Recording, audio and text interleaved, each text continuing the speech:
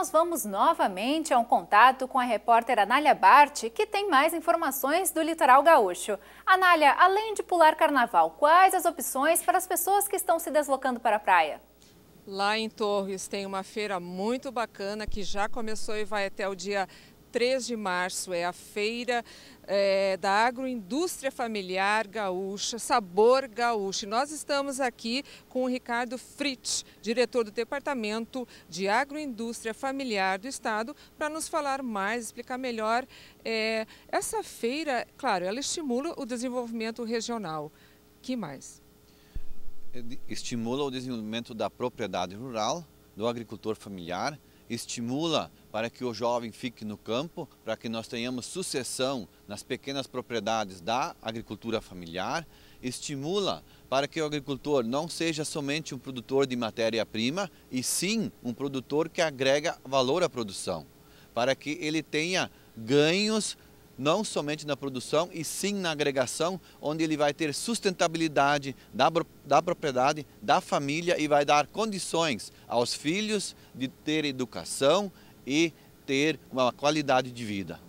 É, lá vão estar produtos orgânicos, produtos saudáveis, típicos aqui do Rio Grande do Sul.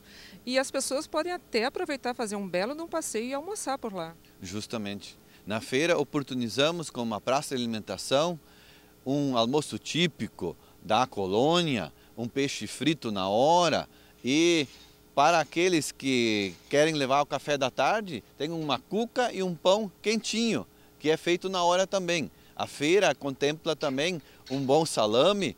Eu sempre digo, o melhor salame do Brasil é produzido no Rio Grande do Sul e com certeza pelo agricultor familiar. Também temos na feira um queijo de altíssima qualidade, feito em pequena escala, em propriedades com 6, 7, 10 vacas, onde o agricultor produz o leite, ele mesmo transforma num queijo peculiar, num sabor diferente, que com certeza o consumidor vai apreciar. Também temos muitas geleias, muitas conservas, compotas, vinho, suco de uva e todos esses produtos oferecidos a um custo ao mesmo custo do interior. O agricultor vende na feira ao mesmo custo que ele vende na porta da casa. Então, a custos acessíveis. E temos diversos produtos com certificação orgânica, produzidos sustentáveis, uma produção sustentável não só na propriedade, mas também para termos uma sustentabilidade na mesa, onde o consumidor possa apreciar sabores específicos, diferenciados, de alta qualidade.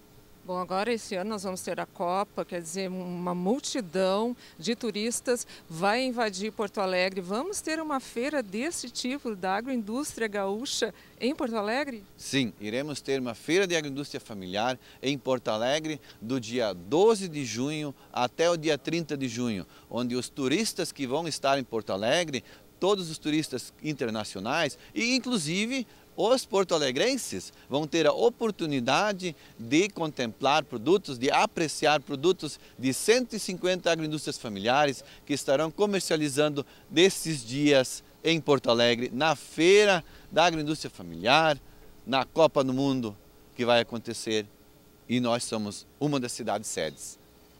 Muito obrigada, Ricardo, pela sua participação. Olha, a feira, então, uh, vai até em Torres até o dia é, 3 de março, na Praça Borges de Medeiros, na Prainha, ok? Agora vamos voltar com vocês, Vini e Lívia. Muito obrigado, Anália. Um levantamento realizado pelo Cindy Lojas Porto Alegre revela que no período pré-carnaval, o comércio de fantasias cresceu 30% em relação ao mesmo período de 2013. E tem gente que desde pequeno se prepara e busca a fantasia perfeita para a festa que inicia nesta sexta-feira. Deixar a criatividade fluir e embarcar na emoção de ser outra pessoa ou um personagem. Cláudia vai usar uma fantasia pela primeira vez. Eu estou procurando alguma coisa que combine, que vai eu e meu marido fantasiado. Eu pensei até em super-homem e alguma mulher, mulher maravilha. No início parece difícil encontrar a peça adequada. A escolha requer paciência. E depois de procurar, procurar, procurar, A Cláudia encontrou a fantasia e olha só que linda. O que, que tu achou, Cláudia? Tô adorando. Vou fazer o parzinho de super-homem com meu marido. Muito legal, bem divertido. Tô adorando. A figurinista Tânia trabalha com fantasias desde 1989. Há 15 anos, abriu uma loja especializada onde fabrica, comercializa e aluga. A produção chega a 100 peças por mês durante todo o ano. Como a gente trabalha com a fábrica, a gente faz o carnaval para as escolas de samba, é um, um produto que a gente oferece. E o carnaval do, do dia a dia, o pessoal que vai nas festas, teve.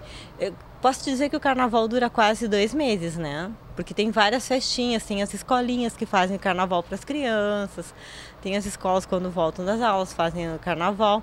Então é uma coisa bem ampla. Nós atendemos as pessoas que nunca estiveram numa festa fantasia e também as que já são fiéis, né? Já são clientes que vêm aqui, já, já são da casa e ah, hoje eu quero isso, hoje eu vou usar aquilo. Então é bem diversificado. O Léo até ficou um pouco tímido com a ideia de se fantasiar, mas se rendeu à brincadeira em nome de uma festa diferente. É um, um retiro né, entre a igreja, né? Então, numa parte de uns 300 jovens, aí vai ter um baile no sábado à noite e vai ir todo mundo fantasiado, entendeu? Aí no domingo vai ser uma parte mais espiritual. Aí segunda-feira começa as atividades e à noite também um baile. Mas quando o assunto são os pequenos, é preciso ter cautela e verificar a procedência dos produtos de carnaval. Tem muita coisa que é, ah, eles criam alergias, que são filós, ah, as crianças não gostam, né? Uhum. Então a gente primeiro tem que preocupar na criança, no bem-estar dela, o que a gente conversa muito com o pai e mãe, a questão da criança se sentir bem. Com respeito às fantasias, né, é importante que uh, se dê preferência para tecidos de algodão, né, que são uh, menos irritantes, são mais frescos, né? A criança com certeza vai se sentir melhor para poder brincar mais, tá? Uh, o outro ponto daí são a questão dos, dos adereços, né? Da maquiagem, das tintas de cabelo, né? Que daí são de mais preocupação para nós da dermatologia, porque isso sim pode causar então dermatites né, de contato, irritativa, alérgica e às vezes, dependendo do produto, até toxicidade.